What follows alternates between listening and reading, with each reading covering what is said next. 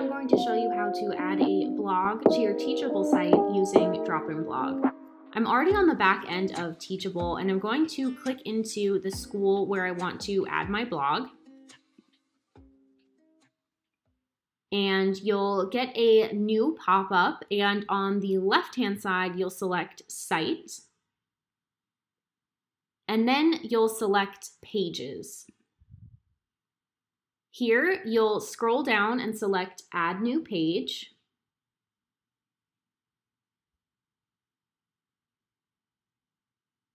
And then you'll select the setting icon on the top left. Scroll down and under page title, we'll rename it to blog and then select publish on the top right hand corner. You'll get a pop-up and you can also input your page name here too. So I'll put blog and then hit publish.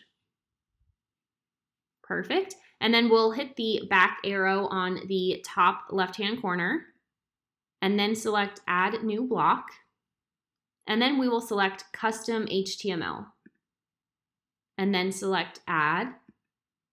And this is where we need to go into DropInBlog and grab some of our codes. So I already have DropInBlog open on another tab, so I'll head over there.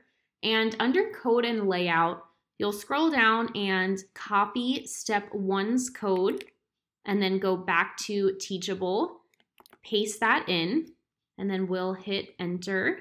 Go back to DropInBlog again, and then copy step two's code, go back to Teachable, paste that in, and then again hit publish on the top right corner.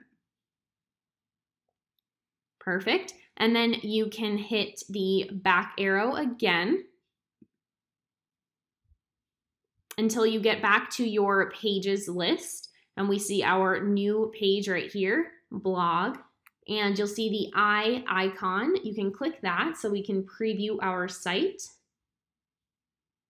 Perfect. And we can see that our blog has already integrated over here with each of our individual blog posts. We do have one more step. You need to copy your URL right here and then go back over to DropInBlog and then go to settings on the top menu.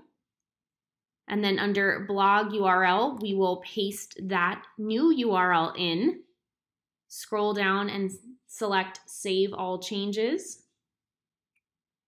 Perfect. And now DropInBlog is successfully communicating with Teachable. And we have all of our blog posts here and ready to go. And that is how you successfully and easily integrate your blog from DropInBlog to Teachable. Happy blogging!